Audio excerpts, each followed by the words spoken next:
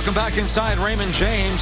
ESPN Plus halftime report continues. Second half just around the corner. Rutgers taking a 21-10 lead into the final 30 minutes. John, let's take a look at our PNC first half highlights. Started with Rutgers had the football and Mike Teel on the quarterback draw calls his own number and gets in to start the scoring at 7 nothing Rutgers. Then the interception by Jason McCourty. He steps inside from the cornerback position, goes 30 yards for another touchdown. But USF answers. Big tough running up the middle. Ben Williams from five yards out. But then Teel comes back to Jack Corcoran for the touchdown. That leads us to the 21-10 lead from the Scarlet Knights. In the quarterback comparison, we said at the top, Matt Grothe was going to have to play flawlessly. He hasn't so far. Two interceptions, 15 of 24. Conversely, Mike Teel, 9 of 15, but he's turned it over a couple times as well. So the season is on the line for Matt Grothe and the USF Bulls. They have to find a way to come back against Mike Teel and score. They have to shut him down. They have to shut Mike Teel down in the second half and come back and score points offensively. It's going to be interesting in the third quarter for Mike Teel and company because no one has success against the Bulls in the third quarter. Yeah, in the third quarter, the USF Bulls have outscored opponents 69 to 7, and that seven points was really a return. So no one's really scored on this defense in the third quarter this year. Well, Rutgers uh, won the opening toss. They deferred. They'll take the football here in the second half with the lead. And there's a fumble. Live football, and the Scarlet Knights uh, get it back. Uh, Jason McCourty took it back, and he coughed it up, and Rutgers gets it. And that would have been huge for the Bulls here in the third quarter. Well, that's exactly the way the Bulls wanted to start. Big time special teams hit. It looked like Perkins, Cameron Perkins coming down on the special teams, just gets a helmet low, and then the strip on the outside may have been Quentin Washington or Jerome Murphy coming down as well. So big time special teams play to start the second half.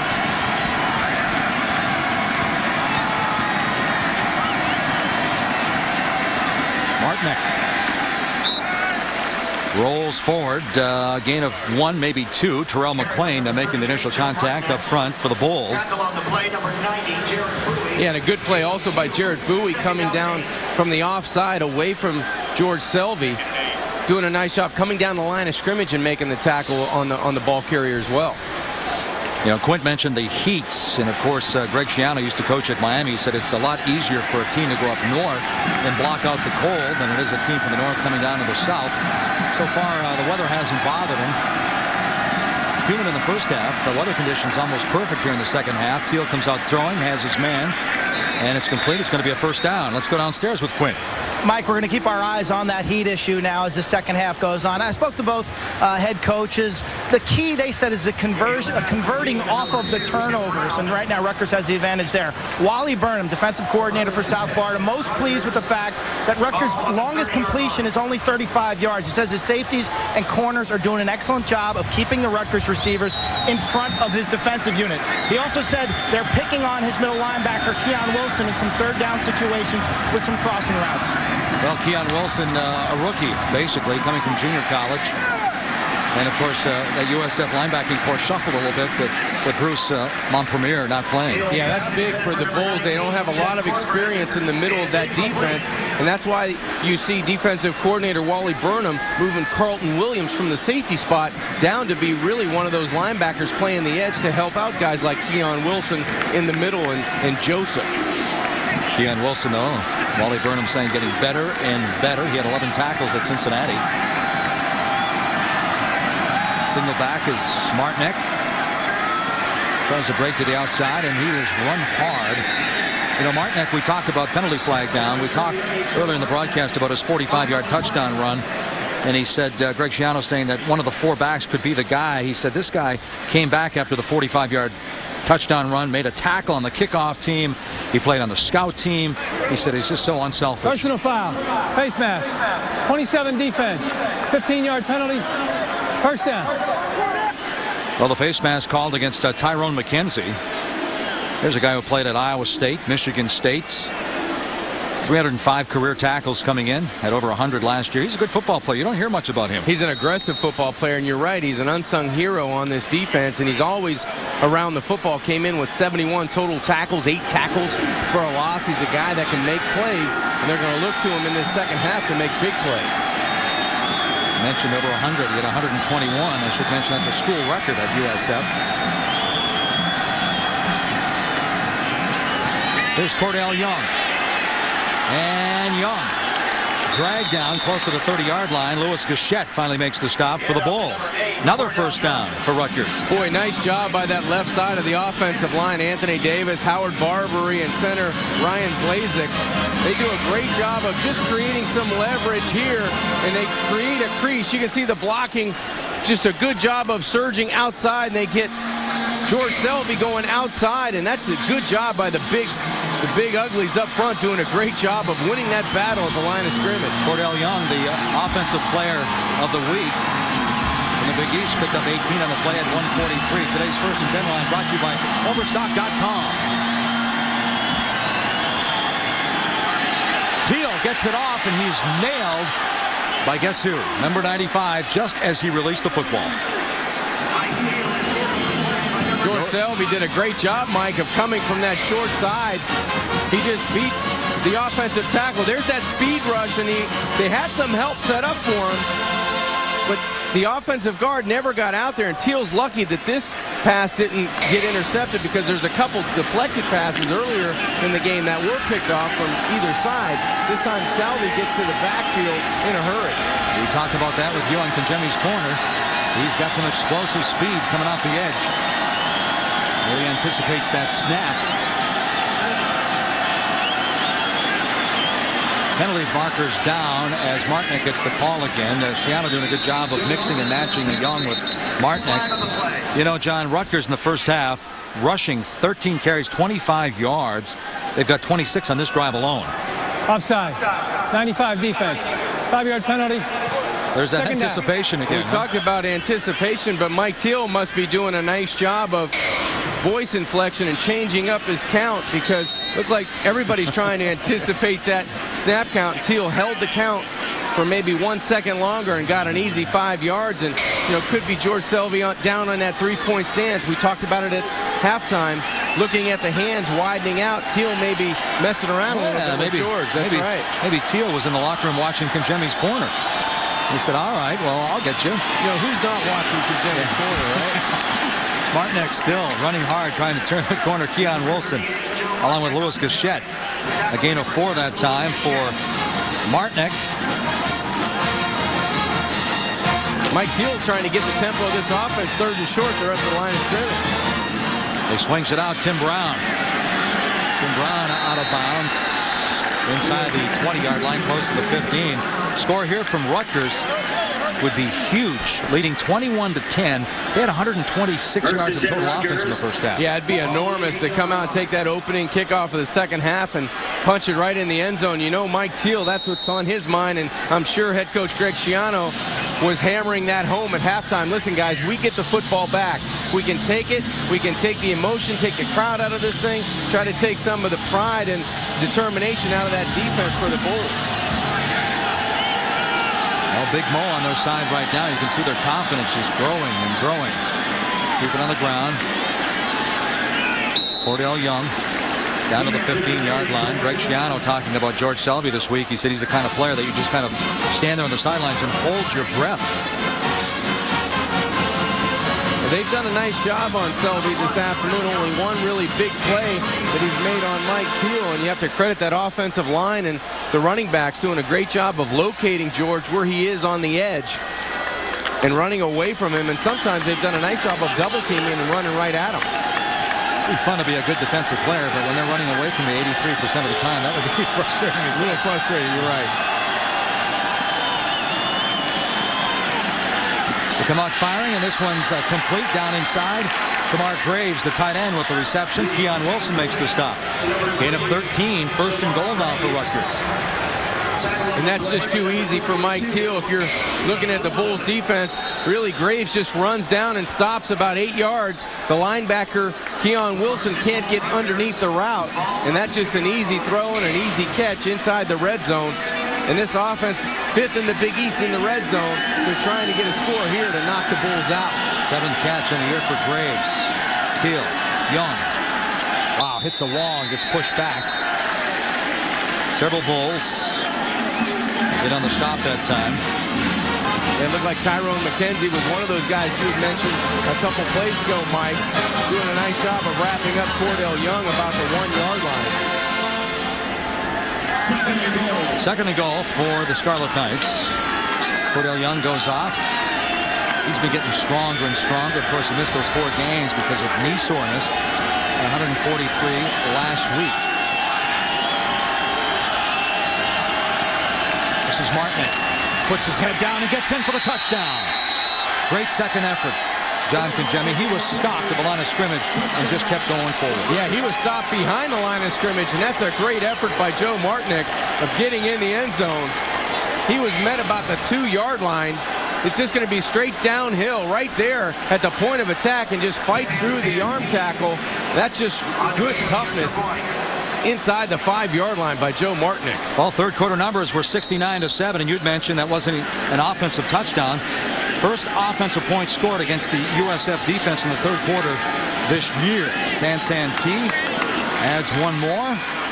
And Rutgers puts seven on the board, 28 to 10 now here in South Florida. Well, goal accomplished by the Rutgers Scarlet Knights. They come out and take that opening kickoff of the second half and do a great job of taking it down the field, running and throwing it, and getting it in the end zone.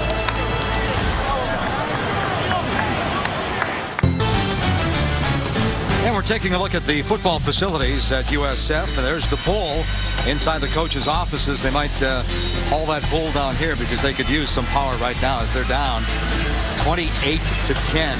Very impressive scoring drive by Rutgers. Boy, 12 plays, 82 yards, 5.16 off the clock, and Joe Martinek gets his first rushing touchdown this afternoon. He did a great job in the drive running the football, and it was a good mix of Mike Teel throwing the football downfield and, and a nice mix of running the football as well. So Teddy Dellaganna, the kicker and the punter for Rutgers, getting ready to kick off to the Bulls once again. If they do get their bowl berth, Delegano will have a big role in that, and I'll explain that right after the kick. It's taken at the 10-yard line. Bogan over the 40. Drops at about the 47-yard line. A return of 38 yards by Dontavia Bogan, the sophomore. Let's go back to that drive for Rutgers first. I mean, first half it was turnovers. That was just an impressive drive. It really was, and Mike Teel did a nice job going 82 yards, throwing the football to the outside, mixing in the running game of Joe Martinek. He had another nice run down the sideline by Kordell Young. Now, this rushing team in the first half, Rutgers, only had 25 yards rushing in the first half. On that drive alone, they had 35 yards rushing, so they found what they wanted to get back to, the running game, but a good mix of Mike Teel as well. Boy, Martinek uh, have to be impressed the way he runs. Runs hard. Grothe. It's complete. Rutgers territory. Jesse Hester once again. Gain of 11 that time. So Matt Grothe at some of the numbers there earlier in the season. Then, uh, as of late, first seven games, very impressive. Yeah, he was on fire in the last three games. Seven interceptions and only two touchdowns. And today, he really rushed the football effectively, but no one else has been able to run the football for the Bulls and, and carry the load for him. There's Grothe going deep this time, and he overshoots his man. Looking for Patrick Richardson once again. Well, once again, uh, excuse me, that's Taurus Johnson. His jersey was pulled up. Johnson now has been missed three times here today. That time, probably the most difficult of the three that he missed him on, trying to go over the top. That was good coverage and good job by the secondary for Rutgers. They had a guy over the top and Joe LaFage, who did a nice job of staying at home and really preventing Grothe from making a big play for Jim Leavitt's offense. Great shot of Jim Leavitt. Some frustration on the sidelines. Huge drive. The Bulls used to uh, dominating the third quarter. Grothe. Some escapability, but uh, there's big number 97, Pete Fedordoff again. He's had a whale of a ball game. This defense has done an excellent job. Anytime the Bulls have mounted any kind of drive and, got a spark in their offense going, they've really shut the door in, in their territory. And Greg Schiano has to be proud of what they've done so far. Grothe fires, and it's caught. Helmet comes off, so there's some popping. There's Bogan with the reception. Zaire Kitchen with the hit. Gain of 14 for the Bulls. It's a shame that uh, Bogan's helmet just came flying off on the hit from uh, Kitchen. Boy, what a catch by Dontavia Bogan. He went up to get the football. Because that ball was in the air a long time. Looks like he might be a little bit woozy. Yeah, I mean, he that ball hangs up there, and it looked like the tackler for Rutgers just went up in the, the and got the helmet and really got him by the chin strap, and it turned the uh, the helmet right off of Bogan's head. He's lucky he's not seriously hurt on that play.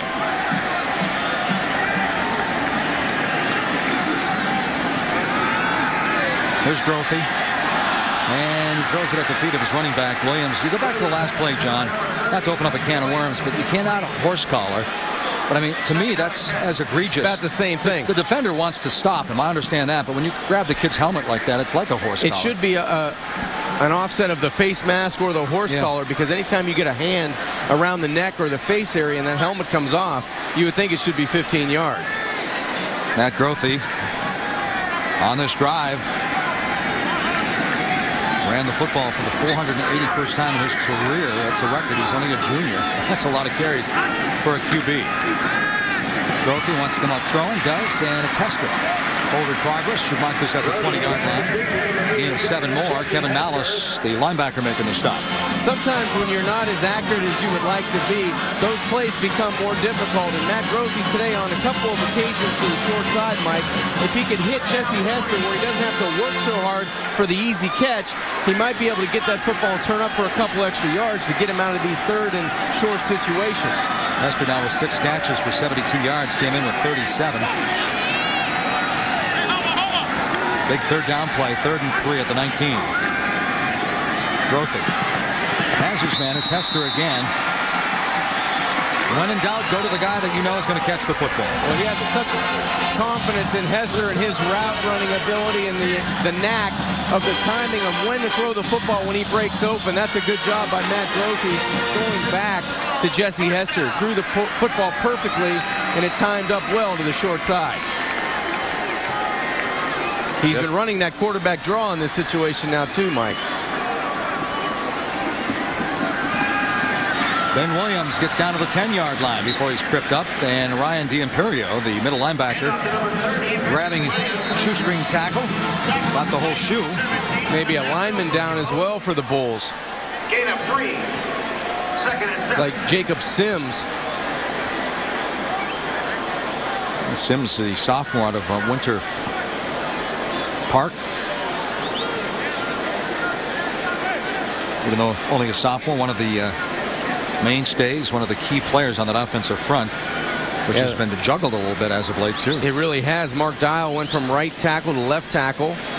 Ryan Schmidt went from left tackle to right guard. And Jacob Sims moved into that right tackle spot. It looked like they're looking at that right ankle or right lower leg. So Jacob Sims, the 6'5", 285-pound sophomore, limps off. Joe Hershauser, another sophomore, uh, should replace him in the offensive line as Jim Leavitt needs a touchdown here with uh, just 7.15 to go in the third quarter. Oh, absolutely. They need to answer, and they need to answer with six points in that extra point, and they have to come back, go three plays and out, try to get another scoring opportunity for this offense because being down 28-10 with 7-10 remaining in the third quarter. Grothe looking back at the bench. Trying think that Rutgers defense exposed themselves. Going for the fade. Johnson finally has one. Touchdown, Bulls. Johnson, that's his fifth touchdown this year. He's had a frustrating afternoon. This one goes for 10 yards. Yeah, this time Matt Grothe and Taurus Johnson hook up. That was a perfect throw by Matt Grothe. Just a little inside wheel route to Taurus Johnson. Perfect timing. The Rutgers defense was baiting Matt Grothe, trying to make him feel like they were going to come with pressure. They don't. Plenty of time, good protection, and an accurate throw by Matt Grothe. Grothe now 44 career touchdowns, and that's not going to help. This could go for the extra point the other way, but it doesn't. Uh, but that doesn't help the Bulls at all as they finally jump on the free football there at about the 23-yard line, but the uh, the big story there is they miss a point. And at this point, they need every point they can. So instead of uh, 28 to 17, it's 28 to 16 right now. And Johnson pulls in his 11th uh, career touchdown. That's just three off the school record. And Matt Grothe now 66 career touchdowns, either passing or rushing. Sunny blue skies in Tampa, Florida this afternoon. South Florida takes on Rutgers inside Raymond James Stadium, the Big East game of the week, along with John Congemi, Quint Kessenich, I'm Mike Gleason. Great to have you with us. Rutgers looking for their fourth straight win, and the Bulls trying to avoid their third straight setback.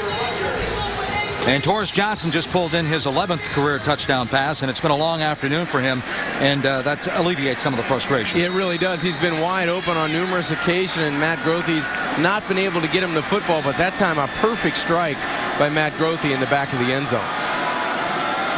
Underwood McCourty, the deep man for Rutgers now, holding on to the 28-16 lead, and Underwood lets it hit. And they will start from the 20-yard line. Grothe did an excellent job, Mike, on that last touchdown of really not getting baited into the would-be blitz. Rutgers trying to bait him into the blitz. This is going to be an inside route that's going to bring the cornerback up, and then it's just an inside wheel route to the back of the end zone. Grothe perfect on the throw. Good timing. He gets it in the shotgun and throws a strike, but then on the ensuing play, you see the high snap goes right through the holder, Greg, Grant Gregory's hands, and you know, at this point in the game, you need every point you can get. Was that a high snap, or Gregory would love to have it? Well, he'd like to have another chance at it. He's a quarterback, so I'm going to say it was a little bit of a high snap. Teel, 12 of 20, 129 yards, touchdown, two picks. Comes out, throwing the football, looking for Britt, and he throws it out of bounds at the 35. Well, Mike, the Bulls defense, they can change the complexion of this game right now. If they can go three plays and out get the football back, you can get a little bit more excitement in this crowd, a little bit more momentum on your sidelines. But if Rutgers goes ahead and takes it down and sticks it down their throat again, just like they did the opening series of the second half, you know, Wally Burnham's going to have a tough time getting rallying his defense back. So, in other words, big drive for Rutgers right here. Second and 10. Martinek some popping into the pads there as McKenzie brings him down. Nice open field tackle, Mike, by Tyrone McKenzie. You mentioned it in the first half. This is a guy that's really unsung of this defensive uh, linebacking crew that's been decimated with injuries. He's the only guy that's been able to stay healthy this year. And Jim Leavitt likes to uh, change his captains. This young man's been a captain seven times in nine games this year. So obviously the coaching staff, his fellow teammates think the world of him. Teel, plenty of time, looking, finding his man at the 35. And it's Tim Brown. Louis Gachette on the coverage that time for USF, and Tim Brown pulls in another catch. Boy, big time catch, climbing the ladder on the wide side of the field. Teel lets this thing rip to the wide side to touch high. But the small 5'8", 165-pound wide receiver from Miami, Florida, the junior goes up and gets a big third down conversion. Three for 39 now, on Brown, nice job of holding on to the ball because uh, Gachette delivered the big hit.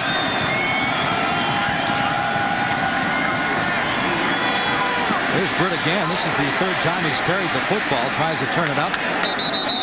And gets up over the line of scrimmage.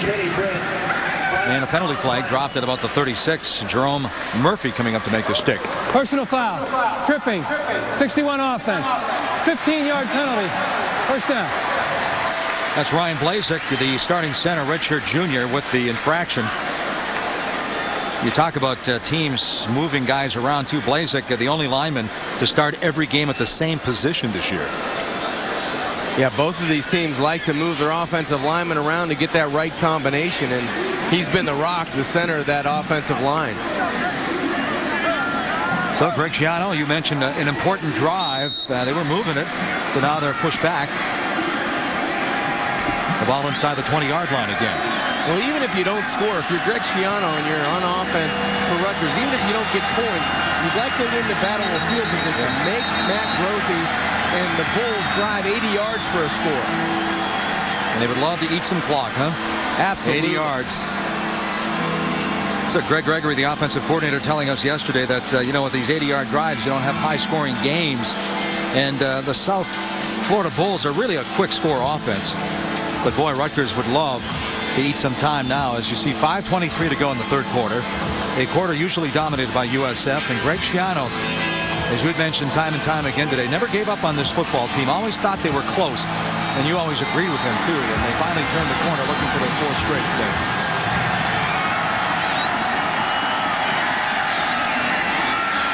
Another completion for Teel. And it's Britt once again. And George Selvie makes a stop. A gain of 10. When you look at the Big East standings, uh, once again, Cincinnati 4 and 1. We heard from Brian Kelly earlier in the broadcast. Pittsburgh and West Virginia are idle. Look at Rutgers, one and five start. Mathematically, they're not out of this race. I know, as funny as it sounds, because we covered Rutgers a few times earlier in this this season, and they've struggled early. But right now, if they can continue on this winning streak, they can be right in the mix.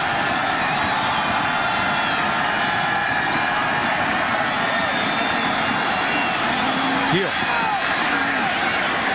buys some time by rolling out of the pocket. I think his arm was hit as the ball was released. Pretty decent coverage by the Bulls downfield. And Teel will face a third down situation. Yeah, you can call that a coverage sack. That was a nice job by Lewis Gachette and Carlton Williams. They had the would-be receiver Underwood to the wide side where Mike was trying to roll and get him the football well covered, and that was a good job by Teel just to get rid of it and throw it out of bounds on the afternoon. 14 of 24 for 153 yards in that touchdown. Six of nine on third downs. Teel averaging 222 passing the game. Nice job escaping the rush, and he swings it out. And it's complete to his big tight end. Kevin Brock with the catch, and Carlton Williams drags him down, a gain of 10 more, but it's going to bring up a kicking situation. But that's a great job by Mike Teel in this offense. After that penalty, the tripping penalty, that ball was back at the 21-yard line. They get it close to the 41-yard line, so they do win some field position, and with a good punt, they'll make it tough on Grothe and company offensively. John, let me finish that story there about Teddy Dellaganna against UConn. It was a 12-10 win. He pinned the Huskies inside the 10 four times in the second half. Successive punts at the 1, 3, and 2 yard line. So if, that was my point, if they get bowl eligible, he will play an important role because that winning streak all started with the win over UConn. There's a fumble, another turnover, Rutgers football, but there is a penalty flag down.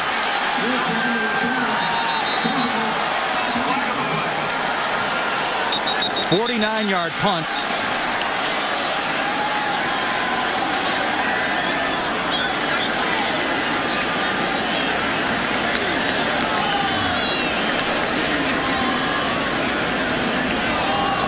Illegal formation on the punt team. Five-yard penalty. What a break. What a break for Jim Leavitt and the South Florida Bulls. That is a huge break with only 3.34 to go in the third quarter. Dellaganna hit a great punt there for Greg Schiano and their special teams, and they get they caused the turnover, but it's all going to come back and have to kick it again. That was Theo Wilson on the return. Former defensive back left a uh, talented secondary, came over and joined a crowded wide receiver corps.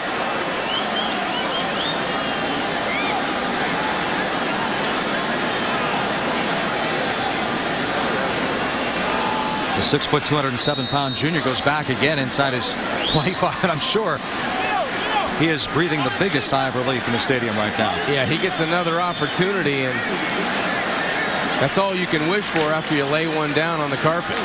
Dellaganna has 10 punts of at least 50 yards in his last four games. Along of 61 at UConn. Dellaganna punting. The 25. They're telling Theo Wilson stay away from it. Hits. And it's going to be down at about the 23-yard line. 41-yard punt that time, and Theo Wilson was hoping to redeem himself, but he was told to stay away. We're going to take a timeout here from Raymond James Stadium. There it is, 3.24 to go, 28-16, Rutgers.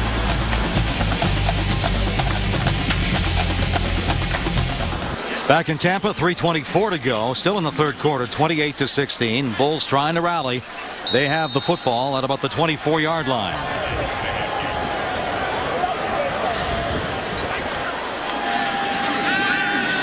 Grothe looking and finding a wide open receiver.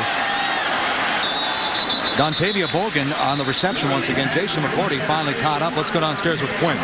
Mike, the sun continues to beat down. This week, Rutgers choosing to practice indoors. They turn the heat up to 85 degrees. We'll find out if it pays off here late third quarter and fourth quarter. After every possession, these guys have come over to the bench. They've sat under these rain rooms, these mist makers, a lot of electrolytes, a lot of water, and, and some. They got some giant, giant sponges that a lot of the players have been uh, dunking in ice and putting over the back of their heads after every possession. Quint, I know you're not out there hitting people, but how hot is it down there? It's it's pretty hot for a northerner like myself. There's another fumble. Jesse Hester, usually Mr. Consistency, stripped of the ball, and Rutgers has it. Jason McCourty, David Rowe came in and knocked the ball loose. It's exactly what happened right from behind Jesse Hester, the right hand of David Rowe comes in. It's going to be a good play over the middle. Good completion by Matt Grothe. Hester trying to make a bigger play. Loses his balance and exposes the football. A nice big hit from behind by David Rowe. And McCourty gets on the football and it really takes the momentum away from this offense and gives it right back to the defense. That's the fourth turnover today the Scarlet Knight defense has forced. And in four wins, they have eight turnovers on the season. And John David Rowe, a true freshman from Cocoa, Florida. They're going to review it upstairs. As Noel Turner, the replay official, it was hard. look at the second play. Mike, it was hard to tell if Jesse Hester's knee was down. It looked like he was trying to regain his balance, but from the initial hit, it looked like a good play. Let's take another look at Matt Grothe. He had good protection, just throws an easy pass over the middle. You're going to see Hester go back to the right side, loses his balance. Ooh, it's pretty loose, huh? Yeah, it's a clean hit. There was no question about that call. That's a fumble. Did a nice job of uh, having a D'Imperio slide off of him, or it was Malast sliding off of him, and the ball was, at that point, being carried like a loaf of bread. Yeah, it looked like Jesse Hester was trying to go and protect the football in the moment to try to bring it back in. It was exposed. And a great job by David Rowe punching out the football. Got to be tough for Jim Leavitt. After review, the rolling on the field is confirmed. The ball came out before the runner was down. First down, Rutgers. Get back to number four, David Rowe, a true freshman from Cocoa, Florida. John, he was not even listed on the two deep, and that's the second big play he's had today. Yeah, he has. And he's really been a thorn in the side of the Bulls and Jim Leavitt and, and Hester on the sidelines because Matt Grothe had great field position. Nice play on first down. They're moving the chains. They're getting it close to the 50-yard line. And then they turn it over again. And Greg Schiano's offense back on the field. They've had great success with that opening drive of the second half. And now they have great field position again. Inside three minutes to the third quarter. Again, we go back and uh, relive the fact that the Bulls have outscored the opposition 69 to 7 in the third. Penalty flag down again as Martinek pounds his way down to the 40-yard line. Gachette making the stop, a gain of 12 more. Flag on the play.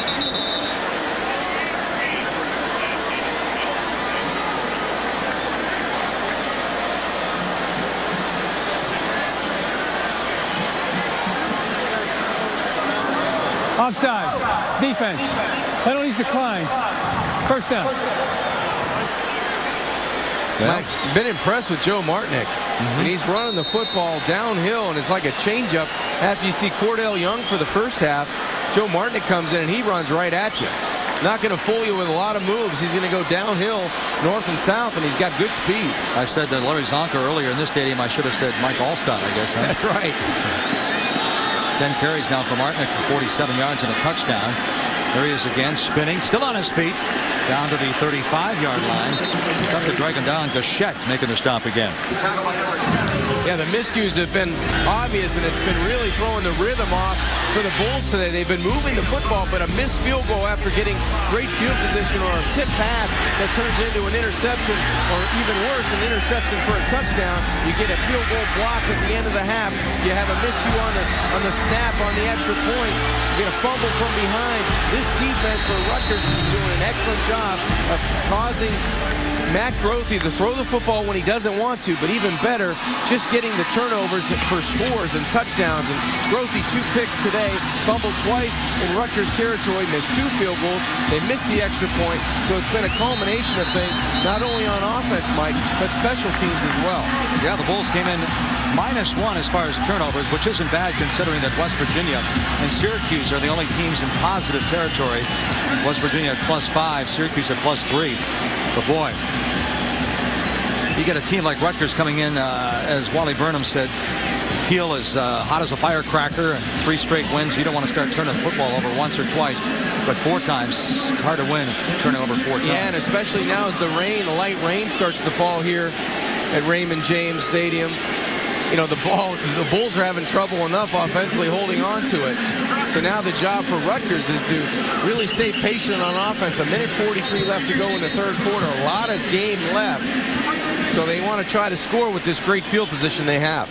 Well, Greg Schiano turning up the heat in the bubble to 85 degrees. It looks like it's uh, paid off up to this juncture. How was it, though? You played a lot of college football in Pittsburgh when you came south. At what juncture does the heat start to get you? As soon as you get off the plane. you know, those big guys sometimes, as soon as you get off the plane, unless you're in great shape, it'll hurt you. Rutgers looks like they're handling it quite well.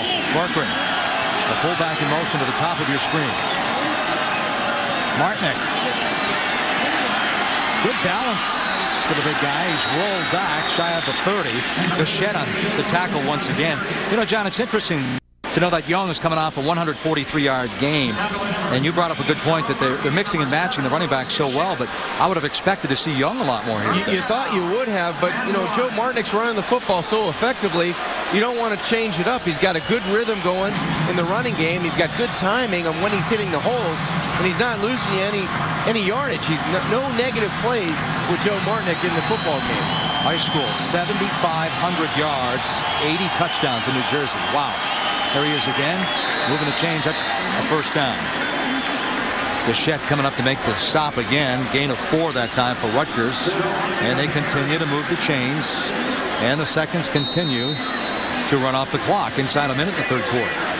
Greg Schiano happy to take his time with great field position. The ball inside the 30-yard line. And that clock winding down underneath 50 seconds. Rutgers 7-11 on third down conversions today. They've done a nice job moving the chains when they've had the opportunity. Now they get first and 10 at the 28-yard line. That's impressive for only 36% on third down of the year. Play action. Teel buys some time. And the big tight end has his first touchdown of the season. Shamar Graves all alone. This one goes for 28. Nice play called by offensive coordinator John McNulty. When you have inexperience at the linebacker position and you get into a running set, all the eyes are in the backfield when they should be on your keys. And one of those keys should be on the tight end. Right here, you've got to be man-to-man -man on the tight end. Everybody runs right by him. And that allows Shamar Graves to really walk into the end zone untouched. San San Te with the kick. And the hill the Bulls have to climb now as we approach the fourth quarter becomes steeper and steeper. The score Rutgers 35, USF 16. And now, in the back of their mind, knowing that they have dominated this entire 2008 season in the third quarter, they're back on their heels. Oh, absolutely. Graves just going to come out and run a corner route. And this is the easiest pass Mike Teel's thrown all day. All he had to do was get it out in front of him. You can see the linebackers trailing Graves the entire time. They bit on the play fake, and that, that enabled Mike Teel to have enough time. All he had to do is put some air underneath the football, and this Rutgers team can feel it. You said they bit on the play fake. It was funny because after the play fake, I was surprised that uh, Graves was so wide open because it wasn't his best play action pass of the day. Yeah, it didn't have to be because he was so wide open. The linebackers bit so hard that they ran into the backfield or at least to the line of scrimmage and made it easier for Mike Teel. So Mike Teel came into the game 518 yards shy of passing Ryan Hart, who had 8,482 yards. Top of the list at Rutgers, and uh, Hart is the quarterback that Teel replaced two years ago when you were calling Big East games. And some people were calling for uh, Teel's head this year. Well, he hung in there.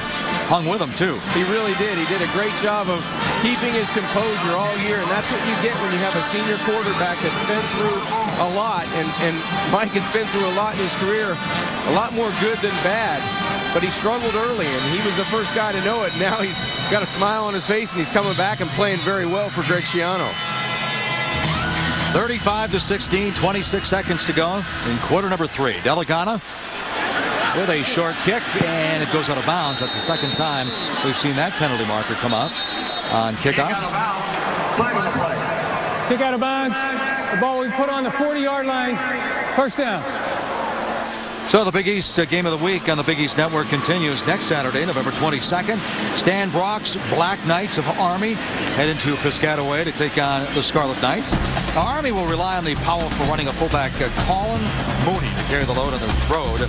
Rutgers will look to uh, Mike Teel to continue his hot streak, lead the Scarlet Knights to their another victory, their fourth straight at Rutgers Stadium. The Big East game of the week. Army and Rutgers next Saturday, November 22nd at noon Eastern only on the Big East Network. Here's Grothe, comes out firing. Completes. Boy, running with a purpose that time. Another penalty marker down. And it's Johnson already with one touchdown reception. He wanted his second. Boy, he was going. Yeah, I think they're going to get called for a holding or a block in the back in that diamond Holding. 30 offense. 10-yard penalty from the spot of the foul. First down. Well, the hill is steep, and Jim Leavitt's Bulls continue to shoot themselves in the foot. Boy, positive play of over 20 yards. Just a hitch screen out to the right side, the wide side. They had four receivers there. You can see 35 points mm. today by Rutgers, the most that the Bulls have allowed all season. They shoot themselves in the foot, as you said, Mike, a positive play that comes back. They come in averaging, uh, giving up 19 points a game. It's number two in the Big East behind West Virginia. Only 282 yards of offense. That's number one in the Big East, and right now trailing a large amount.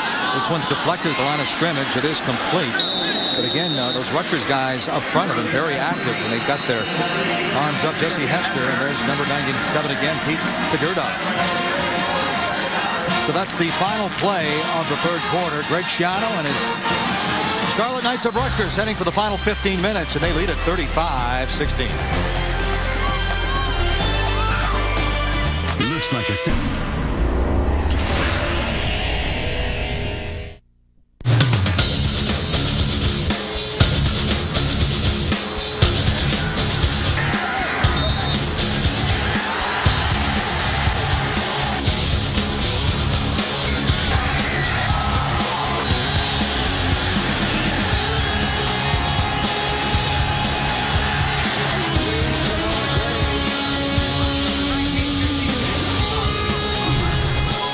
Game of the week. First play of the fourth quarter coming up for the Bulls, and their fans want some points. They average 30. They have 16 against this tough Rutgers defense. And uh, case in point right there, Grothe can barely get the pass off. Boy, big hit. Huge hit on the inside. Dave Silvestro, the sophomore out of New Jersey. South Florida and Rutgers, Raymond James Stadium, the Big East game of the week, along with uh, John Congemi and Quint Kessenich, Mike Gleason here. Great to have you with us, and a ton at stake for both schools. Rutgers looking for their fourth straight win, and USF, now they're trying to avoid a three-game skid, but their work is cut out for them now. As Grothe and company need some instant points. Instant offense, penalty flag down, completed pass, but the flag dropped back at about the 28-yard line. Holding. 65 offense. 10-yard penalty. Third down. Another shot in the foot. Boy, it seems like every time they make a big play, Mike, it comes back for a holding or a or a block in the back or, or a tip pass or, or, a, or a guy coming in and stripping the football and turning it over for Rutgers. They just really hurt themselves, and Jim Leavitt doesn't have an answer because they're positive plays, but one guy is holding them back each play, and you have to have all 11 guys on the same page. That time the guilty party, Ryan Schmidt, the senior out of Boca. Seven penalties for 15. For 65, rather. This one's complete, and once again, Benjamin Williams on the receiving end. defensive end George Johnson getting downfield to make the play. Tackle on the play by number 36, Courtney Green. Courtney Green on the stop as well, the uh, free safety, making his 48th consecutive start. Gain of six that time for the Bulls. Well, now it's on their special teams and defense. Fourth and, and medium. They have to kick and pin the Rutgers special teams back inside the 10-yard line, hopefully, and let their defense see if they can stop Mike Teel and company. Yeah, Rutgers doing a good job of moving the chains, too, and eating up that clock in the third quarter. Alvarado's kick is a high one. It's been taken by Campbell. Fair catch at the five-yard line. 51-yard punt, so 95 yards away. But again, the most important right now is eat some clock for the Scarlet Knights. Yeah, I think Greg Schiano wants to let him know not to fair catch that. And Mike, we take a look at, at the Big East standings, I mean, Cincinnati in the driver's seat after that victory last night on the road at Louisville. But Rutgers, the Scarlet Knights, after that start of 1 and 5, finding their way up the leaderboard and trying to get into the Big East mix.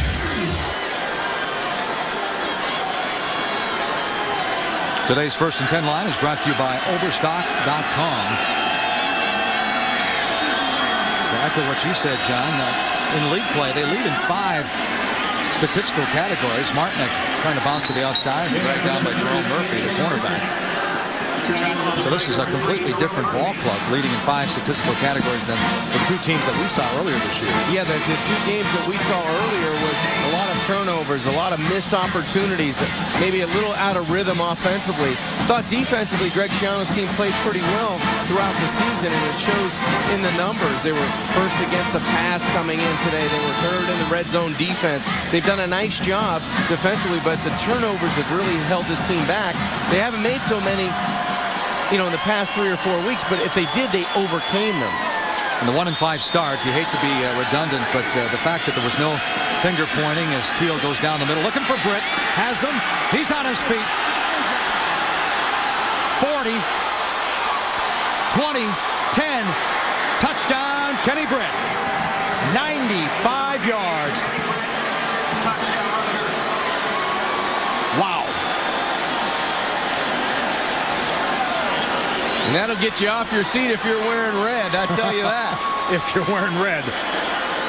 Greg Schiano had that play called and offensive coordinator John McNulty earlier in the game in the first half. It was a big play down there, and this is the Liberty Mutual play of the game. What a great throw, a strong throw, great protection in the pocket. He bounces off of Jerome Murphy, the would-be tackler. Then Kenny Britt has enough in the tank to take it the distance. San San Te drills it through. Britt, seven catches, 163 yards, and one touchdown. I remember the game we did at West Virginia. They had 14 completions, 12 went to Kenny Britt. Got great size, had the speed to pull away from that secondary. Let's take another look, John, at the touchdown. Just an awesome play. Teel comes back, lets it rip, and Kenny Britt does the rest. Six points for Rutgers.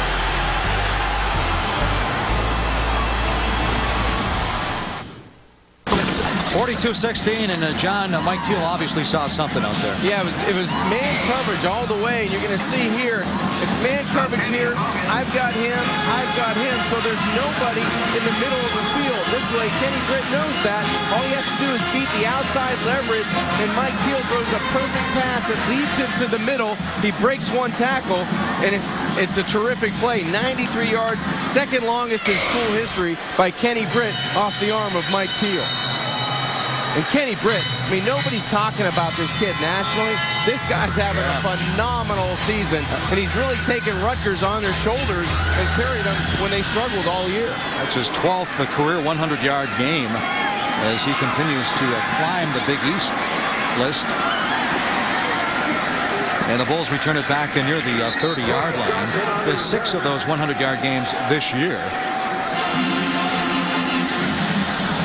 You know, you mentioned uh, that's a great graphic right here. What you just said. Nobody's talking about uh, Kenny Britt. Look at the numbers compared to Crabtree. Well, yeah, absolutely. I mean, Kenny Britt deserves to be in any spotlight that's talking about national wide receivers because this guy, all he does is is make plays and make touchdowns and gain yards for this offense. And the only reason you don't hear him is because Rutgers is four and five. Grothe. I want to say playing catch up, but D'Imperio drags him down. Another sack for Rutgers. Let's go back to Kenny Britt for a second now. Yeah, going back in, in the struggles that Kenny Britt faces is his team is four and five.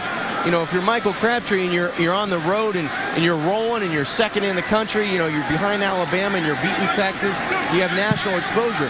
This guy is having one heck of a season, and he's doing it really, and nobody knows about it except if you're watching Big East football. Grothe comes down, finds his man, it's complete. This one goes to Patrick Richardson. You know, Britt's with 12 100-yard games. Antonio Bryant had 13, Larry Fitzgerald 14. And if they get bowl eligible, they still have three games after this one. So Britt, whether yeah. if he uh, comes back or not for his senior year, he can do it. The fact that Fitzgerald had 14 in two years at Pitt is phenomenal. Phenomenal. After this play, uh, I have a correction to make as far as that touchdown with Kenny Britt. I said it was 95 yards as Grothe finds his man once again. It's Hester over the 45. Hester spins, dropped to the 48. It was actually 93 yards, John, the, the second longest in Rutgers history. 95, you got to go back to 1977. Bert Kosub against Temple had a 95-yard touchdown. He still holds the record.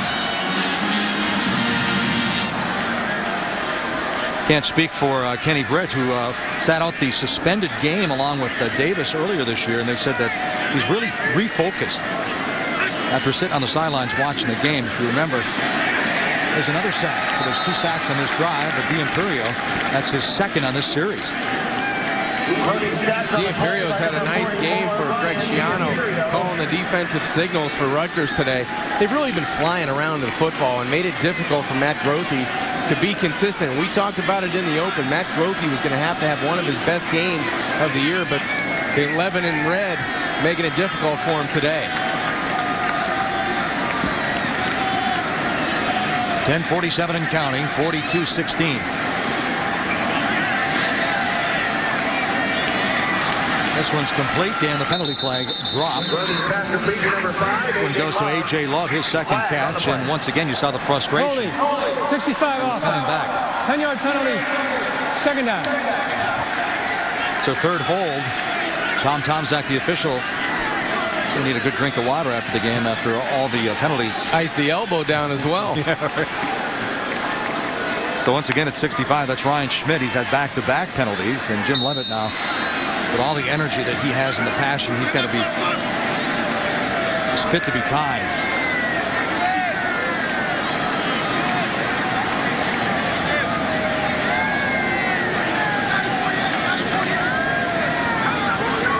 Mentioned that uh, it's no easy task now for the Bulls, even if they had won this football game. They still have a game with UConn and oh, West absolutely. Virginia. It was an uphill battle for the Bulls all the way, and it was going to be difficult today because of the emotion that they're going to have to overcome, and Rutgers having a lot of confidence in South Florida. You can see the dejection on the sidelines and the mistakes that they've been making, and it really shows in Jim Leavitt as well because they prepared. They thought they had a great week of practice this week. They thought the tempo was up. They thought the defense was flying around. And talking with you know Greg Gregory and Wally Burnham, both coordinators felt like they had great weeks of practice and just didn't happen on Saturday. Another reception for Benjamin Williams. And he's inside Rutgers territory. Once again, 44, Ryan D'Imperio. Along with uh, Courtney Green. And Joe Lefeged on the play as well. So Rutgers flying around defensively. And South Florida now facing a fourth down, Mike. They're going to have to go for it with under 10 minutes remaining. And it's fourth and five.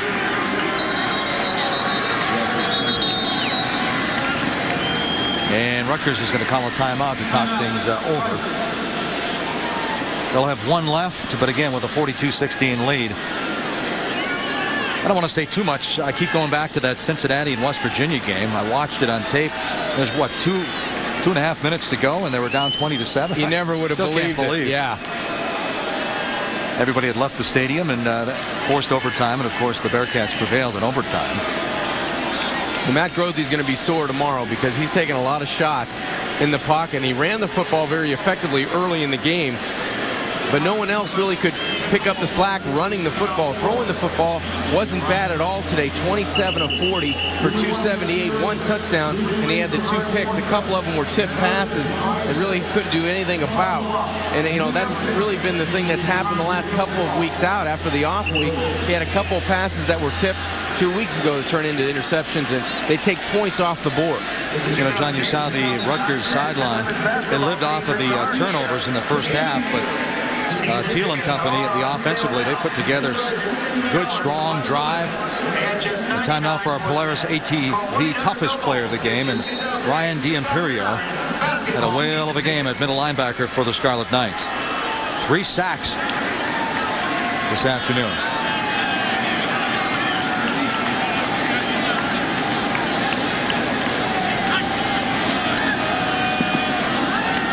This one batted up, and it's completed to Patrick Richardson. A.J. Love was the intended receiver.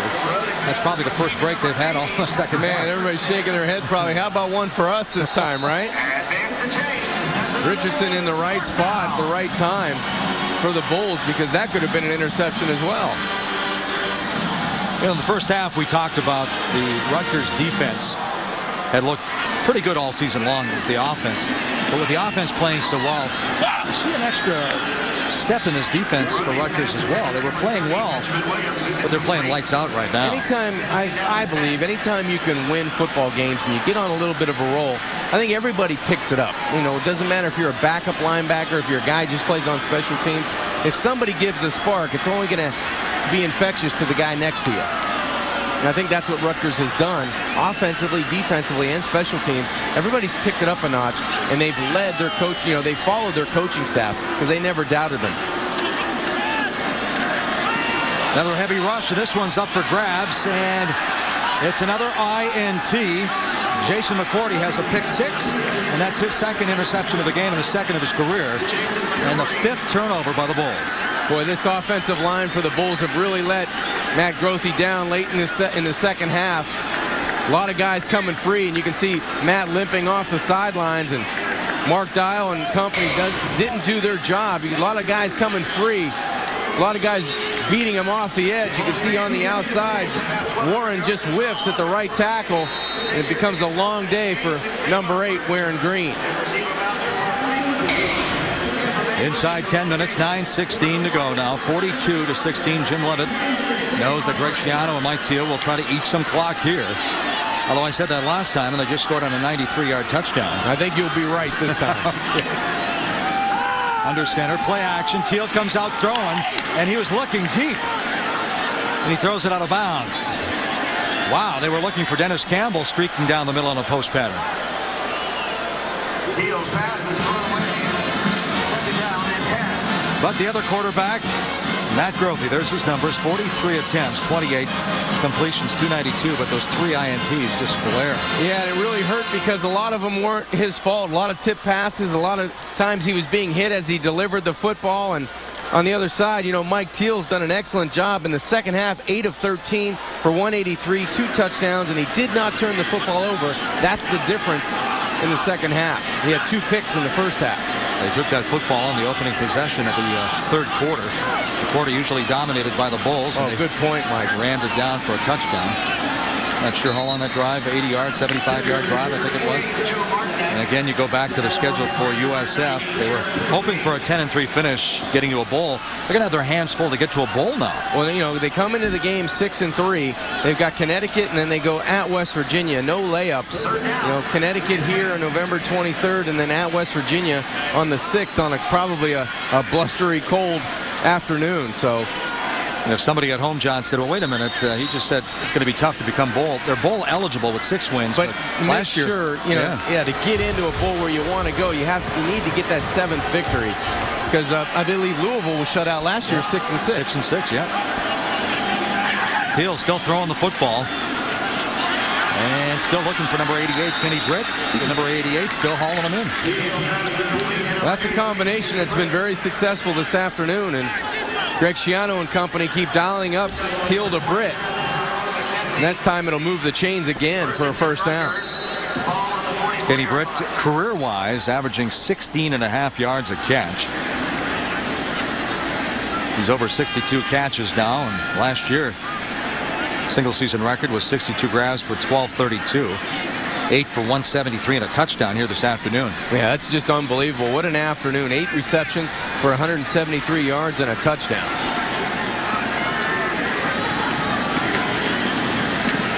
Six yards away from a 1,000 now for Kenny Britt. And again, we go back to last year, 12-32. Penalty flag down.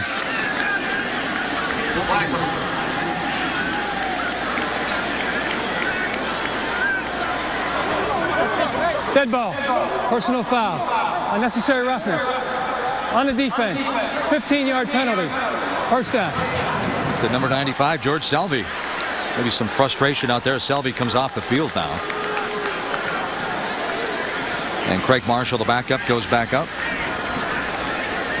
Let's take a look at our Polaris Ranger hardest working player of the game, John. Yeah, 16 rushes for 63 yards and a touchdown. Joe Martinek that had an excellent afternoon. Last week against Syracuse had the big run. Today, more of the same. Nice running in between the tackles. Used his speed to the outside when he had to, but he's done a nice job. You can see a lot of guys patting him on the back and on the helmet.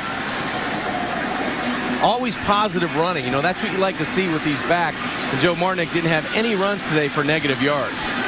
Last week on the direct snap, he went 45 yards for a touchdown, and uh, somebody asked Greg Schiano, you know, if he could have taken him off the kickoff team, and he said, I could have, but he said he wanted to go back on the field, and he made the tackle on the kickoff. Craig Marshall making the tackle that time on Young. Young, a redshirt sophomore. They have Jordan Brooks, a redshirt freshman. Bartnick, Martinek is a freshman.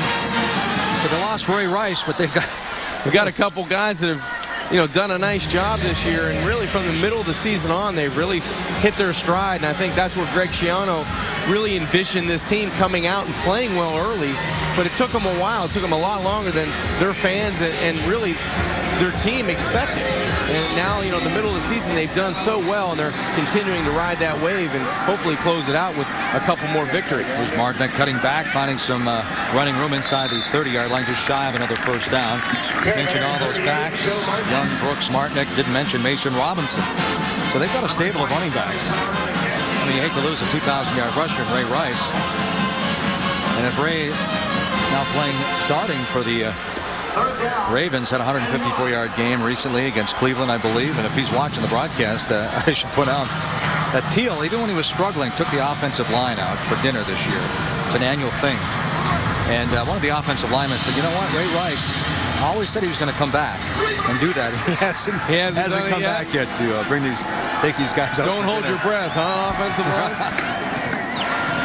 At Martinek. What a move. 10. Bichette drags him down inside the five-yard line.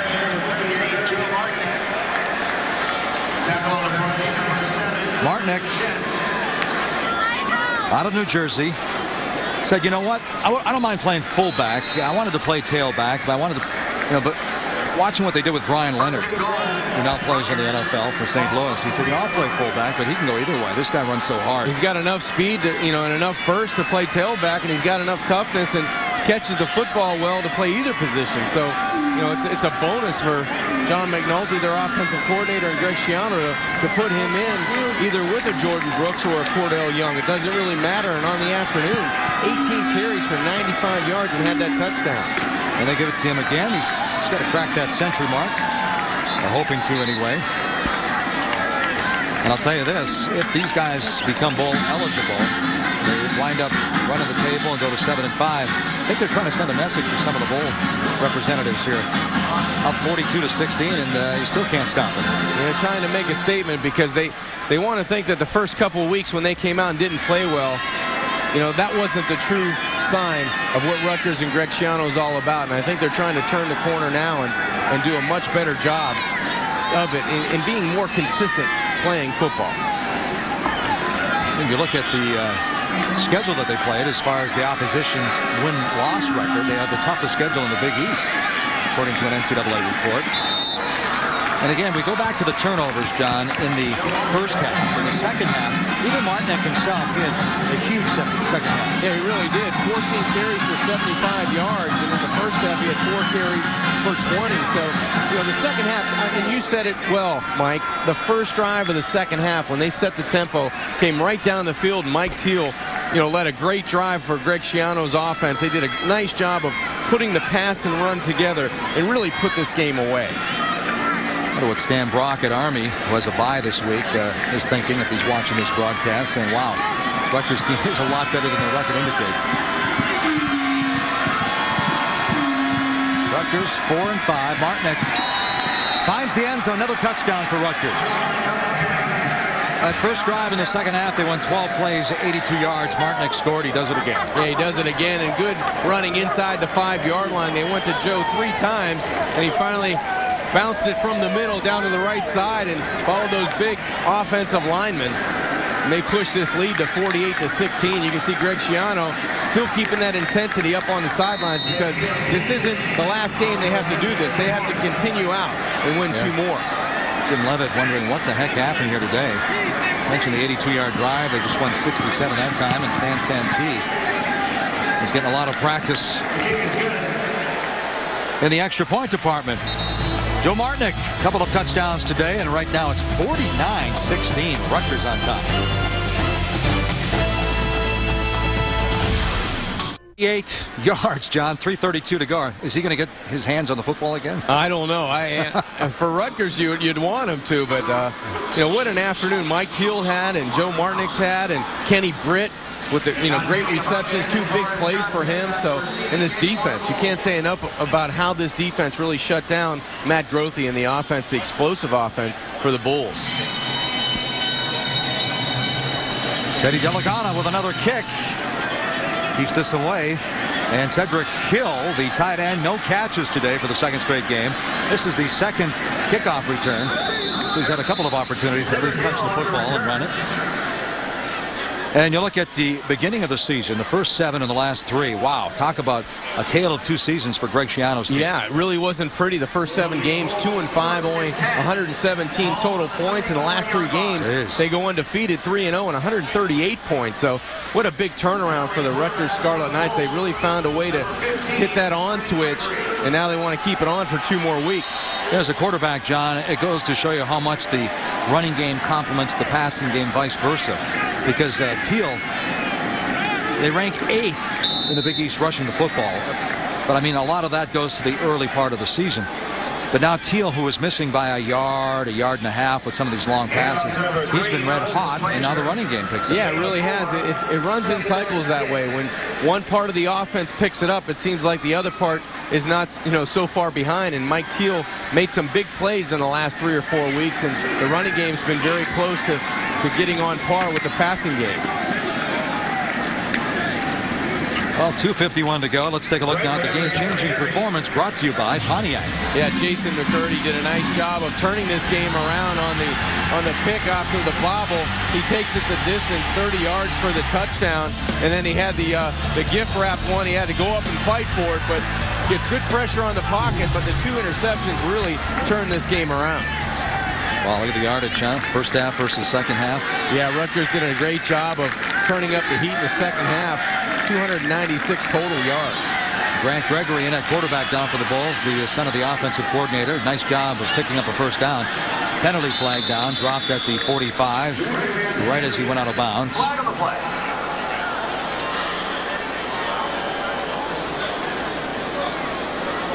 So Tom Tomzak, the referee, having a busy afternoon as well, along with the kickers, Joe Martinek, Mike Teel. It's going to be a nice ride back for Rutgers, though, back up to uh, Piscataway. Flag in the back. 21 offense. 10-yard penalty.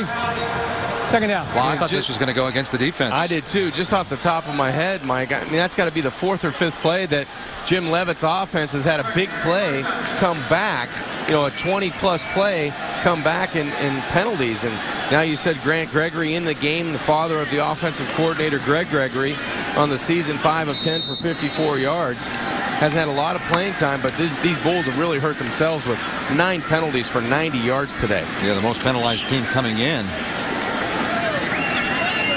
average about eight and a half penalties, so that's just a, a little over. But again, their numbers offensively and defensively are so strong, and turnovers, I guess, really sums up this game in the first half. Complete. Second down. So Matt Grothe, It's not a good feeling. You know, it's not a good feeling when you come in and you you've had a great week of practice and you, the game started pretty well for you, but you have so many tip balls and so many bad things happen to you. And you felt like you didn't play that poorly, but they just didn't make enough plays to overcome the penalties and the turnovers. Gregory finds his man, Blanchard, over the 50-yard line. Uh, Gregory with a nice high school career in Athens, Ohio. Went to Indiana, playing the Big Ten transferring down here to South Florida. There's Mike Teel, another big game for him. They did a nice job of really building on what he's done the last couple of weeks and you know coming out that explosive game he had at Pittsburgh and they struggled a little bit last week against Syracuse early in the game but he did a great job of coming back today and making big plays.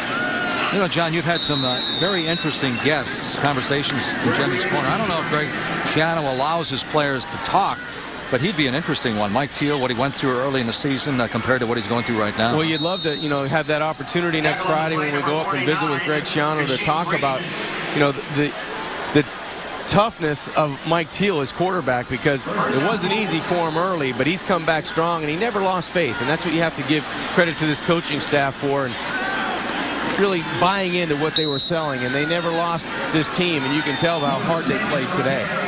Mo Plancher uh, with the carry. So Teel continues to uh, climb Tackled by number 15. and chase Ryan Hart as far as the uh, all-time passing list at Rutgers. Inside a minute now before they put this one in the books. Sooner the better for the Bulls. Gregory buying some time, doing a nice job. Finds his man at the 25-yard line. Nice pass. And it's complete to Patrick Richardson. Time now for our Hampton Inn winning play of the game. For Rutgers, it was just Mike Teel throwing it up to his big tight end.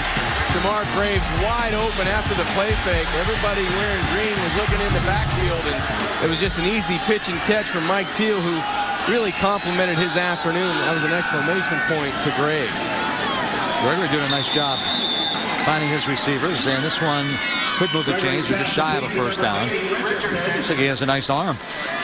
Yeah, he's doing a nice job coming out and moving the football, showing his athletic ability as well. Rolling out a little bit when he found some pressure, and now they've got a timeout with 28 seconds remaining in the game. Trying to get some points on. They know it's a uh, effort and futility right now, but trying to get some points. Greg Schiano watching his quarterback, Mike Teel, rack up 294 yards, three touchdowns, two interceptions today.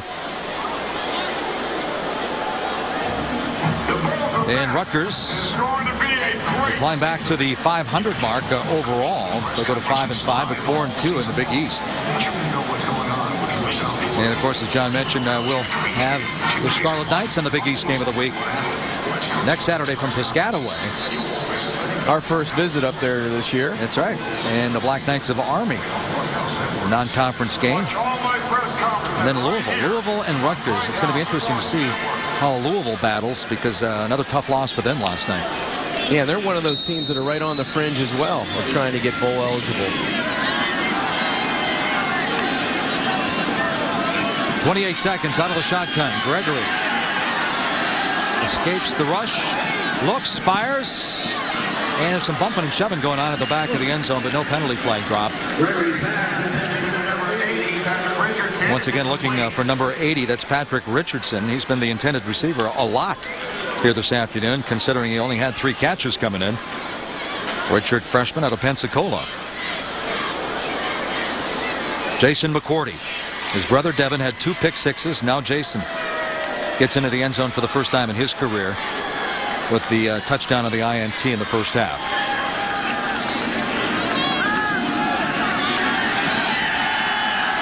Another sack, another fumble, and another recovery by Rutgers. Wow. Six turnovers now. Jim Dumont. Well, this defense came to play today, Mike, and they've done a nice job no matter if it's been the, the starting 11. It's, it's our time right now for the defense. They've done a nice job with Manny Abreu getting some pressure in that uh, offensive backfield, and then you get the fumble recovery, and Greg Schiano real happy about this victory, coming on the road down to Tampa and keeping that dream alive. Yeah, we talked about Ryan D'Imperio, the big game he had, three sacks, and then Jim Dumont, the backup linebacker in the Mike position, the middle linebacker, picks up the fumble recovery. Here's your final score. Rutgers 49, your USF Bulls 16.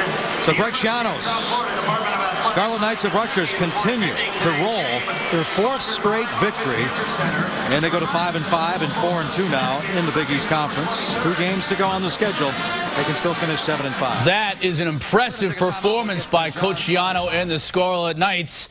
Final score of uh, what was the final score? I lost track of it there. 49 to 16. I lost track of all the offense being run here. Uh, an unbelievable day for the Scarlet Knights as they beat South Florida and beat them up good, and they keep themselves in the Big East race of all things. This team started one and five, and now they are in the Big East hunt. Chris Cotter, along with Ray Lucas and Don McPherson, guys, uh, and, and, Ray, I'll start with you. Uh, for Mike Teel to have the type of game he had today, for this team to pour it on in the second half in a close game at halftime on the road, it says a lot about where this team has come from day one to now. Absolutely. And, you know, you got 12 plays, 82 yards he goes. He's finding people wide open in the secondary. And like I said before, in the in halftime, Mike Teel is the key to this turnaround. Starting one and five had a lot to do with the reason why. Look at Kenny Britt. What a great catch. And does have the wheels, I might add, to take it to the house. Impressive play all around for, for, for Rutgers, and, and I agree. Uh, Mike Teel did an outstanding job today. Every opportunity, he took advantage of it. He threw the ball sharp. Just one, one slight mistake early in the game. Other than that, a very sharp game for Mike Teel. 49-16 is the final. Rutgers with the win over South Florida, and it means a lot uh, for this team in the long run. But staying with this game, I mean, the UC, USF turnovers, by the way, killed South Florida. Mistakes, I thought was 16 days to prepare for this game. Grothe coming off a bad game. I thought he'd be fantastic. He was my beast of the East. I was a complete moron at 11:30 this morning for taking him because he did not have a good game, and a lot of credit has to go to that Rutgers front seven for making his life miserable. Yeah, there's no question about it. The Rutgers front seven did an outstanding job of keeping pressure on him and making plays. The line of scrimmage, you saw that tip pass, uh, and also the couple of interceptions. And Ryan D'Imperio was outstanding in the rush. You see him here with one of his three sacks on the day, two in the same series. Here comes the second one on Grothe, a very elusive quarterback. An outstanding job of this Rutgers defense, and especially the defensive front, staying in his face and making opportunities for secondaries and linebackers. Jason McCourty with an interception for a touchdown, too, defensively, yet, yet, yet, even more for that Rutgers defense to hang their head on. You know, Schiano, defensive guy, always wants to chop wood, had to have been very disappointed with the way this team played. You think Fresno State, you think North Carolina. Boy, they've come full circle with this one Absolutely, today. and I don't really so much as put it on the defense right to start because when you're turning the ball over, your offense is giving it away. You're on the field for quite a long period of time. You do get tired and you do get frustrated. The best thing about Rutgers, what they did all year long, is they pointed the thumb, not the finger. It's easy to go like that. It's a lot harder to check yourself, look in the mirror, and try to strike the ship.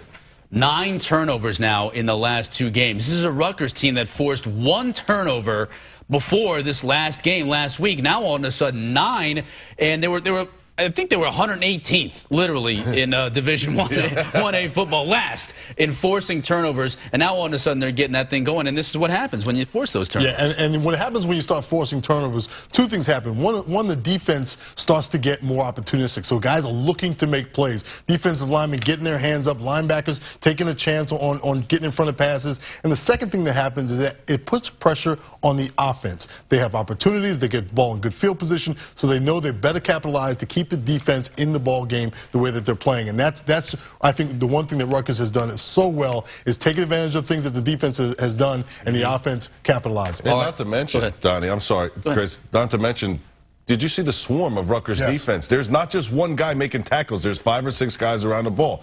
Let's not get, you know, mistake this for any reason. USF is a good football team. The record may not show it. And yes, I think it has a lot to do with the quarterback play because obviously Matt Grothe, let's not forget, they had two field goals that were blocked. One was blocked, one was missed.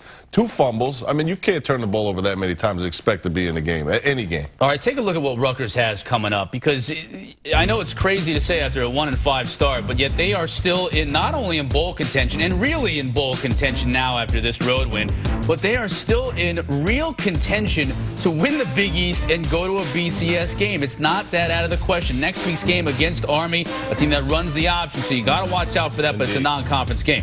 Right here, our Big East game of the week. Then Louisville at home, certainly a winnable game, and if you do that, then you really can start scoreboard watching. Cincinnati, the big one. You know, a lot of dominoes have to fall here, guys, but if Cincinnati loses to Pitt next week in a huge game, then we're talking about a situation where, okay, then you look at West Virginia. What do they have? Pittsburgh has a tough schedule down right. the stretch.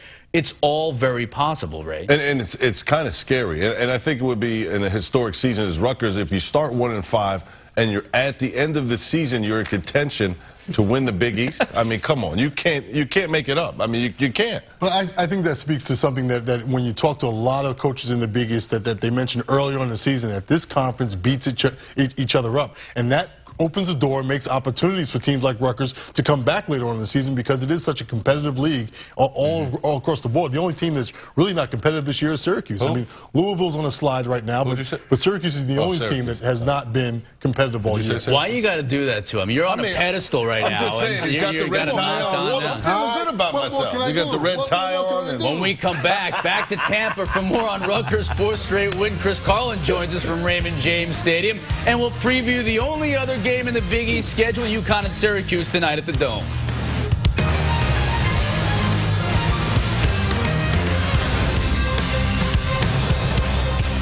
All right, let's go to the highlights. Raymond James Stadium. Both quarterbacks struggling early, but Mike Teel what? getting Rutgers on the board first with the draw play 7 to nothing. Scarlet Knights. Later, Bulls down 7-3. Matt Grothe, third and six. Picked off by Jason McCourty. That's his first career interception. He wants more than just a pick, though. He wants six, and he gets it into the end zone. Rutgers up 14 to 3. Back come the Bulls, though. Three minutes to play. Grothe giving it to Ben Williams. Look at this guy. Bench presses over 600 pounds. Why? Because he wants to. It's the only reason why yeah, you bench press 600 yeah. pounds. Uh, let's bring 14 him on All right, 30 seconds left in the half. This is a big score momentum-wise. Rutgers picks it up. Jack Corcoran with the score 21-10. To the second half, opening drive for Rutgers. Second and goal after marching down the field. Joe Martinek busts in from a yard out. What a day he had. 28-10 Knights. Ensuing South Florida drive. Grothe at times, he was good today. This is a beautiful pass right here. Where only his, his, guy can get it. Taurus Johnson, the touchdown, 20-yard strike, 28-16, missing the extra point. South Florida gets the ball right back, driving. Grothe. It's Jesse Hester Jr. oh, my word. Mistakes, mistakes, mistakes. Leavitt lost his voice before they even took the field today in the first quarter. Couldn't even believe it. Mike Teel, two of them as he throws the pass. Touchdown and we'll go to the score. We'll show you the rest of the highlights later. Right. There. I thought I was in the twilight zone. There. It was not a shaky ending for Rutgers. It was a solid ending. Good one though, Don. 49 to 16. Rutgers improves to five and five overall, and maybe even more importantly, four and two in conference as they keep themselves alive for the Big East Championship. Take a look at the standings right now. You got Cincy at 4 and 1. They've already won this week. Pittsburgh 3 and 1, West Virginia 3 and 1. Those two teams still have to play in the backyard brawl.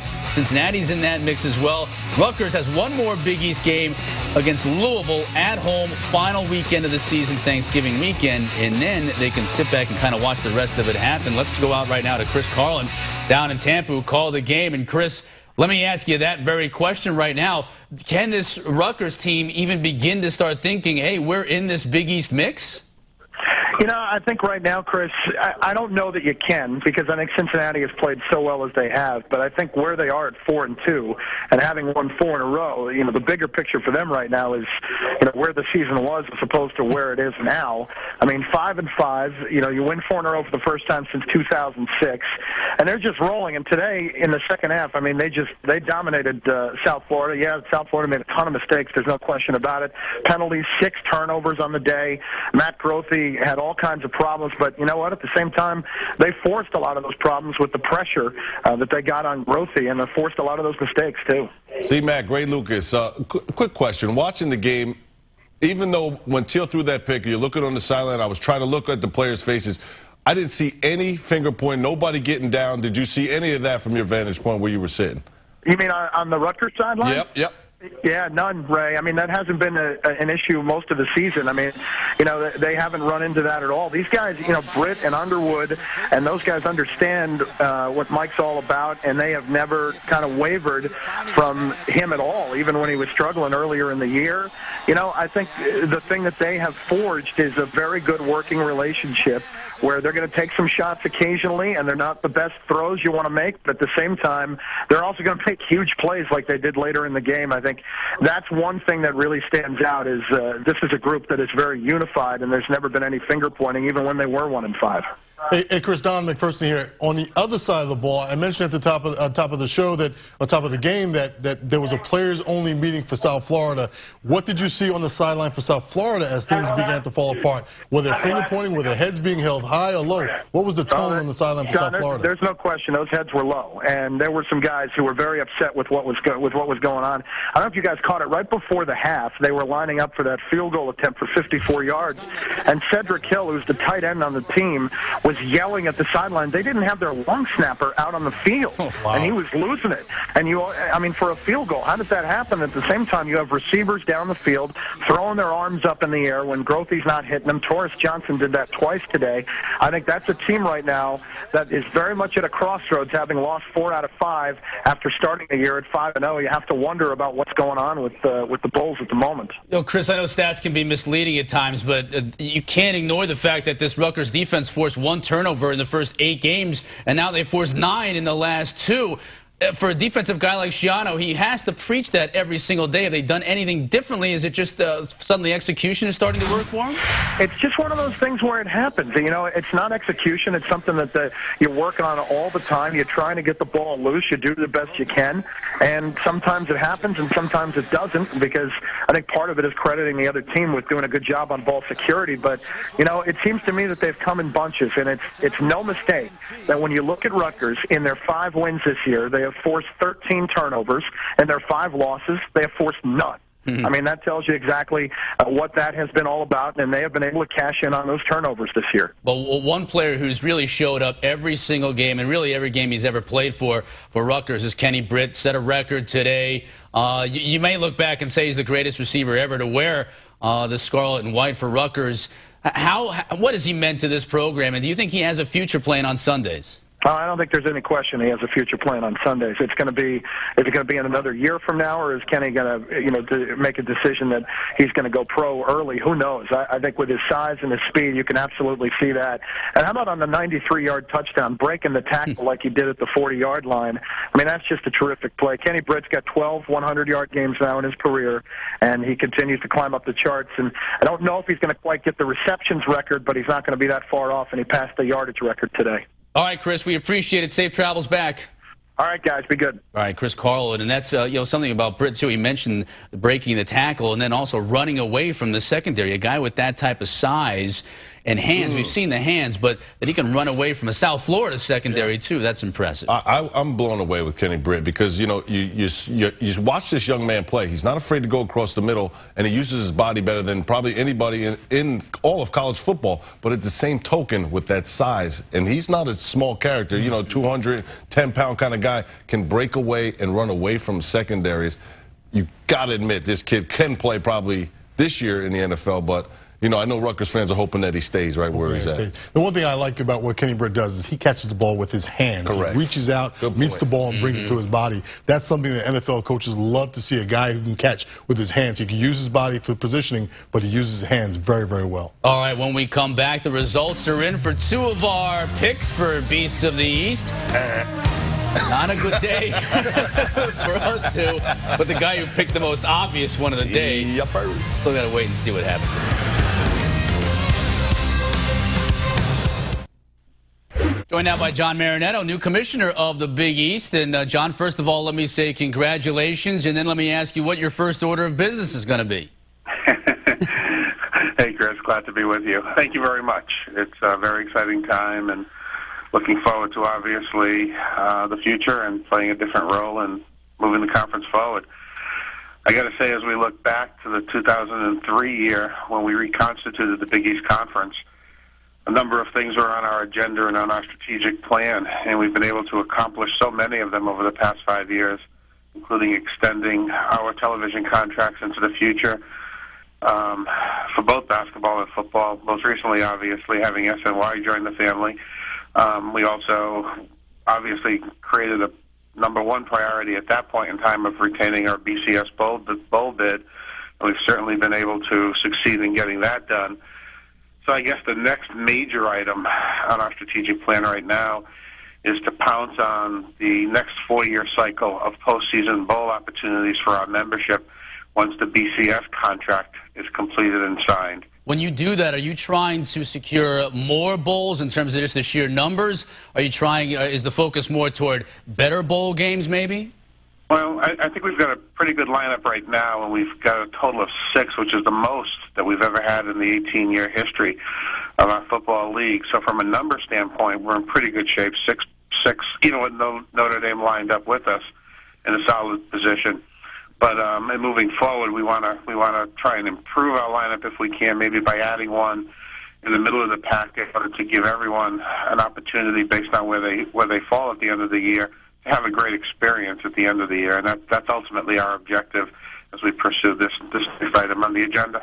John, so many leagues have gone to the 12-team format. I know certainly that was brought up when you know, Boston College and Miami left for the ACC. Uh, is that ever in the future? Is that so far down the road that right now you wouldn't even consider that having a 12-team league, a championship game? Yeah, there's there's no item of expansion on our agenda. Um, it's not talked about among our members and we're, we're, we're pretty content with where we are right now. I got to tell you though that the, um, the the issue would only be revisited if I think our membership felt that there was someone out there that brought us value mm-hmm. that was available to move over.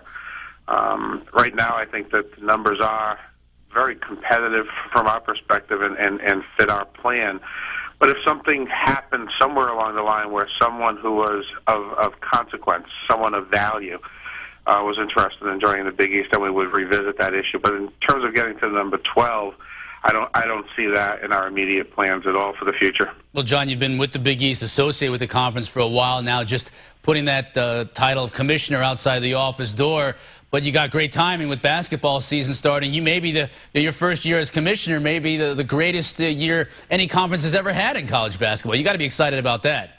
Isn't it amazing, Chris, how, how phenomenally we, what, what, what we've made it a practice to do in the past, leading up to this year, obviously, is never to say anything that's as out, uh, outrageous and as bold as that we're the best. We leave it to people like you to say that on our behalf. But we're excited, obviously. You look at the standings and you look at the projections and the prognosticators, and you we're in a position where everyone is talking about us in terms of being the best ever, and that's terrific. All right, Don, pluses and minuses with having a 12-team league and having the championship game. We've certainly seen it with the ACC. Everybody thought it was going to be Miami and Florida State. It hasn't been that way. Oh, do you like the Big East the way it is right now? Do you think it would be more intriguing if you had that couple extra teams and then maybe had that championship game that weekend? I think it, not only is it going to be more intriguing if they had the, if they had the 12 teams, I think it's going to be necessary as, as, as the college football goes forward and the bowl alliance becomes or the bowl championship series uh, becomes a little bit more complicated. I think the, the, the solutions are going to be as people talk about playoffs, they're going to be in the conference championship games that will give us something bigger, and I think that's where the Big East will be competitive once they go to 12 teams. You know, Ray, uh, the commissioner was right when he starts talking about uh, the teams better bring something to the table. We're not just going to go out there and grab teams. So when you look around right. the landscape of college football right now, I mean, does a Marshall make sense? Do you, look at Conference USA? Do you look at the MAC conference maybe? I mean, it's not it's not exact. It's kind of slim pickings of the teams that are still left out there. Oh, I agree. And, and where are you picking them from? The bottom of the barrel? I mean, the last fourth, fifth, sixth place yeah. teams in that in that conference. I think it's easy. tough. It's not going to be easy. He will have his work cut out for him. But I do believe, like Don, I think a playoff system will be beneficial to the Big East. And when I played in the Big East, we had the Syracuse, Miami, Boston College, Virginia Tech. It was a powerhouse, and we had the Rutgers. I mean, because I was there. But anyway, I'm saying it was a powerhouse, and I think they're going back to that right now. So, I mean, yes, I think 12 teams would benefit everybody. Really. All right, our beasts of the East, and Ray took the easy way out on this one. He oh, just decided he was going to take a player. He's going to take a player that uh, wasn't going to play until after we were off the air. Exactly. There's no way to validate. But I, I will go back to, to my. Well, this is your guy. Yeah, this yeah, is this, my this guy. Is you can have him if you want. uh, Grothe was my guy. I thought having 16 days to prepare, you know.